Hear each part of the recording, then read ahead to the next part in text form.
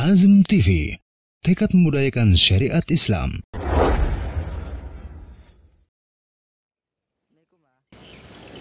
Ustadz, sekarang kan lagi viral tentang ada salah satu orang Ustadz mengatakan menganjurkan untuk nonton di bioskop.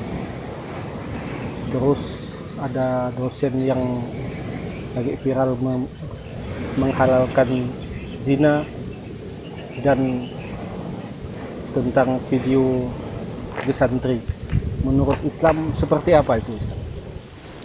Ya. Bismillah walhamdulillah wa sallallahu ala nabiyyina Muhammadin wa ala alihi wa sahbihi ajma'in amma ba'du. Pada dasarnya apa yang terjadi di akhir zaman ini yang berkaitan dengan masalah yang begitu banyak muncul terutama yang berkaitan dengan masalah fitnah, fitnah syahwat, fitnah syubhat dan apa pun bentuk dari perkara-perkara yang memang sedang lagi viral di media-media sosial. Semuanya itu sebenarnya sudah diisyaratkan oleh Rasulullah Sallallahu Alaihi Wasallam. Dalam sebuah hadis Rasulullah Sallallahu Alaihi Wasallam menegaskan, Inna Allah la yaqbidul ilma intiza'an yantazi'uhu minal ibad walakin yaqbidul ilma biqabdil ulama kata Nabi Sallallahu Alaihi Wasallam jadi Allah Subhanahu wa taala itu tidak akan pernah mencabut ilmu dari dada-dada manusia. Ya, jadi Allah Subhanahu wa taala ketika mencabut ilmu itu tidak langsung dari hati-hati dan dada-dada manusia. Tapi Allah Subhanahu wa taala akan mencabut ilmu ini dengan mewafatkan para ulama. Kemudian kata Rasulullah, hatta idza lam yubqi aliman. Sampai pada akhirnya nanti ketika ulama itu banyak wafat, banyak meninggal dunia, maka tidak tersisa lagi orang-orang yang sebenar-benar orang alim. Ya, jadi ilmu itu diangkat, banyak ulama pada wafat dan tidak tersisa lagi orang alim. Orang alim yang dimaksudkan di sini adalah orang alim yang benar-benar rabbani.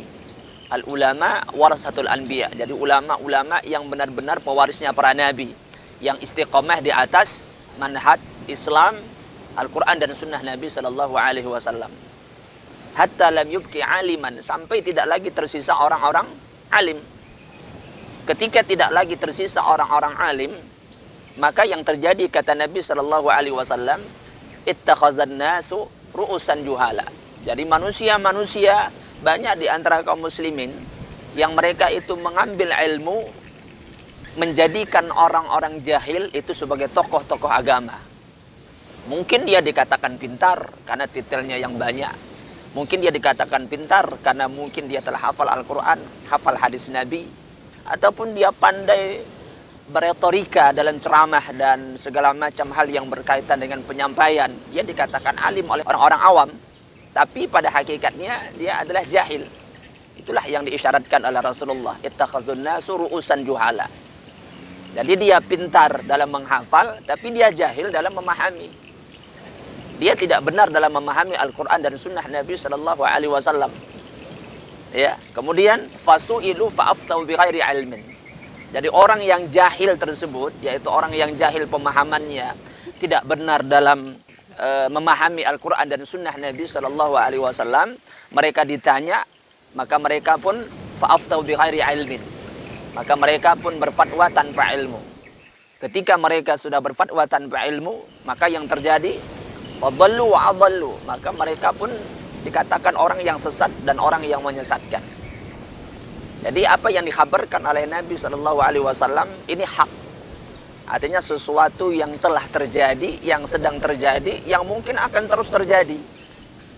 Ada perkataan yang menarik dari Al Imam uh, Al Hafiz Ibnu Hajar Asqalani rahimahullah taala terhadap hadis ini dalam kitab Fathul Bari. Kata beliau, dalam hadis yang mulia ini paling tidak ada tiga pesan yang memang beliau tegaskan berdasarkan hadis ini. Pertama adalah kata beliau bahwasanya ini menunjukkan kita di akhir zaman ini benar-benar harus punya semangat, harus punya perjuangan dan kerja keras untuk menjaga syariat Allah Subhanahu wa taala. Karena berdasarkan hadis tadi Allah Subhanahu wa taala mengangkat ilmu Ya, artinya makin hari, makin dekat hari kiamat, ilmu itu makin berkurang. Ilmu yang dimaksudkan adalah ilmu din, bukan ilmu dunia. Ya, karena Allah mengangkat ilmu itu dari dada-dada manusia, yaitu dengan mematikan para ulama. Dengan ulama banyak wafat. Sehingga dengan wafatnya ulama, maka ilmu itu berkurang. Maka di akhir zaman ini, kita sebagai orang Islam harus punya semangat untuk menjaga ilmu itu, menghidupkan majelis-majelis ta'lim dan lembaga-lembaga pendidikan. Kemudian yang kedua kata beliau bahwasanya hadis ini memberikan pelajaran kepada kita hati-hati mengangkat orang itu jadi tokoh agama. Kita anggap dia ustadz, kita anggap dia kiai, kita anggap dia dai, kita anggap dia mubalik, kita anggap dia guru kita hati-hati. Ya, mengangkat seseorang menjadi tokoh-tokoh agama. Karena ini apa yang disyaratkan oleh Nabi Shallallahu Alaihi Wasallam adalah sesuatu yang pasti akan terjadi dan sekarang kenyataannya memang demikian. Banyak manusia-manusia yang yang tertipu dengan retorika, kemudian dengan apa namanya dengan gaya bahasa dan seterusnya itu menyebabkan banyak di antara kaum muslimin mereka tertipu dengan itu. Dan mereka tidak memandang pemahamannya benar ataupun salah. Ya sahih ataupun menyimpang dan seterusnya. Kemudian kata Al-Imam Al-Hafiz Ibnu Hajar Asqalani terhadap hadis ini kata beliau bahwasanya hadis ini menunjukkan kepada kita bahwasanya fatwa kalau sudah disebutkan perkataan sudah disebutkan oleh tokoh-tokoh agama dan fatwa itu tanpa ilmu hanya berdasarkan emosi hanya berdasarkan logika hanya berdasarkan pemikiran hanya berdasarkan menganggap ini adalah perbuatan yang baik tanpa ada hujah tanpa ada dalil maka fatwa itu nanti akan menyebabkan kerusakan di atas kehidupan manusia secara umum. Nah itulah mungkin yang terjadi sekarang ini. Ya, apalagi hadis ini ditambah dengan hadis-hadis yang lain.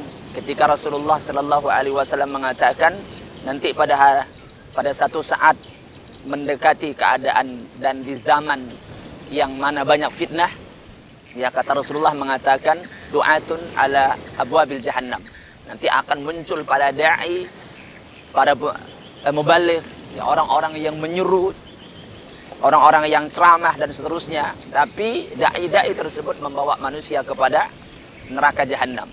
Ya, membawa manusia kepada neraka jahanam. Dan itu yang dikhawatirkan.